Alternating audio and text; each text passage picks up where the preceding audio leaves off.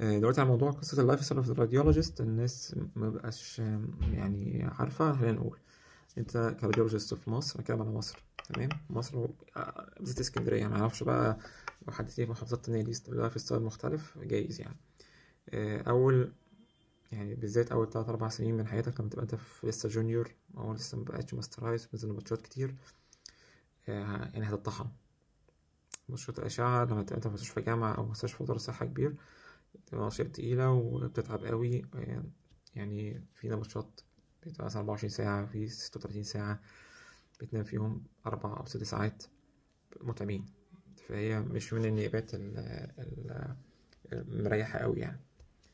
آه، وأنا عارف طبعا لو أي حد مش راديولوجيست بتوع إخواننا بتوع العظم سمعوا الكلام ده يقعدوا يضحكوا بس يعني آه، والله إحنا كده يا فعلا بنضحك آه إحنا قاعدين في أماكن التكييف دي ميزة رهيبة جدا جدا في الأشعة إنك في عز الحر الناس كلها مفرهده وانت قاعد جوه مع أجهزتك قاعد في التكييف. ودي ميزة جدا رهيبة في شغلانه الأشعة. بعد ما تبقى masterize وتبتدي إن أنت تبقى specialist بعد مثلا خمس أو ست سنين ال- الدنيا بتحلو شوية. يعني الدنيا بتقل شغل ال private بتاعك آه، بيبقى well established حلو.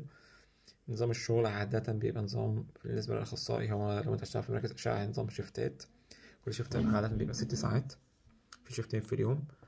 آه، أو لو أنت بتشتغل آه، في عيادات الأشعة في المستشفيات بتبقى متوسط مدتها من ساعتين لأربع ساعات.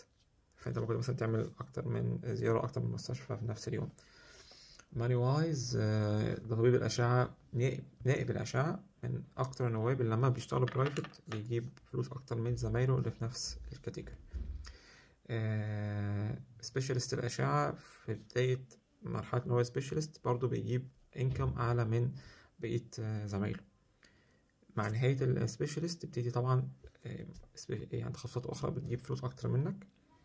آه، طبعا ممكن تبقى الجراحة شوية. آه، لكن مع consultant الجراحة دول بيشرحوا بي- بي- بيجيبوا income أعلى منك بكتير. بس أنت بتجيب income كويس يعني بتبقى مستريح نسبيا سواء جوه مصر أو بره مصر. يعني إن أنت دكتور اشعه consultant ده لا ده يعني أنا شايف ده يعني هي كويسة ليك في ال career بتاعك وهتشتغل شغل لحد كبير مريح.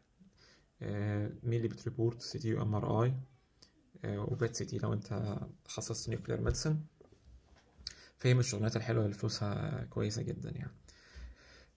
آه، ف overall هي بس في في الأول تبقى صعبة. آه، زي كل التخصصات يعني ما فيش أصلا تخصص في الطب مش صعب في أول في بداياته يعني. في في تخصصات في الجراحة صعبة جدا جدا في, في وانت نائب وحتى وانت specialist يعني. آه، انت في أحسن حالا يعني. من ناس كتير. في ميزة في الأشعة التشخيصية بتظهر لما تكون يعني في مرحلة ال pre consultant أو consultant يعني لو هي tele radiology إن أنت تبتدي ت report آه، من وأنت بره المراكز. يرفعوا لك الفحوصات آه، اونلاين وأنت تكتبها. فممكن ت report من البيت ممكن ت report من الساحل ممكن ت report من أسوان ممكن تسافر بره مصر وت report. ممكن يجيلك شغل من بره مصر تبقى تشتغل. من لبره وبتقبض بفلوس بره بس انت- وانت جوه مصر. آه، دي فرص مش متاحة قوي القصة اللي هي انت ت report من بره مصر آه، شغل من بره مصر يعني بس موجودة. يعني في ناس كده. فدي موجودة. ال tele يعني ميزة ومتعة حلوة. بس طبعا عشان تعمل كده تبقى انت أول حاجة consultant بعد كده consultant شاطر جدا. عشان طبعا ال- الغلطة فورة. فعشان حد بعيد عنك يثق فيك لازم تبقى أنت اسمك كويس وسمعتك كويسة. okay؟ آه، فأتمنى إن شاء الله تبقى يعني جاوبتكم على قصة ال life style for the radiologist طبعا بالنسبة للبنات آه، قصة ال radiation hazard في الأشعة تقريبا zero. يعني المفروض إن كل الأماكن معزولة. آه، الناس الجماعة بتوع ال- الحماية من الأشعة. آه، في الق- اللي هم بيشيكوا على كل الأماكن عنيفين جدا في التقييمات بتاعتهم. ف آه، وبيعملوا check up على طول. وانت لازم برضه تعمل check up يعني لو انت عاوز تجيب dosimeter تعلقه كده تحطه في جيبك. وبالذات لو انت رايح تشتغل في مكان جديد أو في مستشفى جديد وانت مش مطمن قوي مثلا موضوع الرصاص والترصيص والحاجات دي ممكن تخليه معاك تقيس بيه تتأكد إن فعلا المكان تمام مفيهوش أي تسريب وكده خلاص أنت تطمن يعني. آه ودي نقطة أنا أنصح بيها يعني بصراحة. إنك دايما تبقى معاك الدوزيميتر بتاعك آه، تشتريه آه وتستخدمه في أي مكان جديد أنت رايح تشتغل فيه خصوصا لو أنت قريب من الجهاز. آه عادة في الأماكن الكبيرة أوض ال reporting بتبقى بعيدة عن الجهاز.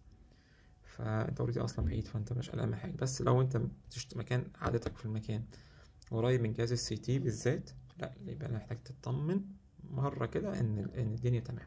خلاص؟ أي مركز اشعه بال private آه، أماكن ال reporting بعيدة خالص عن ال- جهاز ال CT فأنت أو أنت يعني ما تخافيش خالص أو أنت ما تخافش خالص من قصه ال radiation exposure الفيديو الجاي إن شاء الله هيكون على موضوع ال intervention radiology قصير كده.